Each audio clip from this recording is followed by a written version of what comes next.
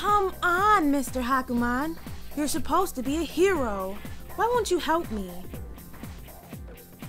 My name is Hakumen. Secondly, why should I assist you in this matter? Because I hate his guts and he won't leave me alone! And I told you that I would pay you, didn't I?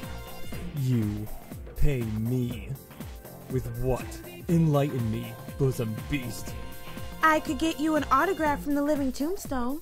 A remix dubstep artist. What kind of man do you take me for, a woman? A voice commission from a popular female brony impressionist? Why bother? I could just rip audio from the show. What about a night of fun with a female internet celebrity? Two words unwarranted self importance. Well, what in the world do you want then? I desire Cindy Robinson's hand in holy matrimony. Alright, fine. I'll get her to marry you. Whoever the heck that is. Oh, Miss Litchi! Oh no! Just follow my lead, okay?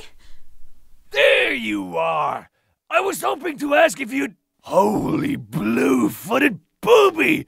What is this? Mind me. I'm just enjoying a midnight stroll with my b- boyfriend. Boyfriend? Boy, what? Y- yeah, Hakumen and I have been dating for three months now. We're very happy together. Right, boyfriend?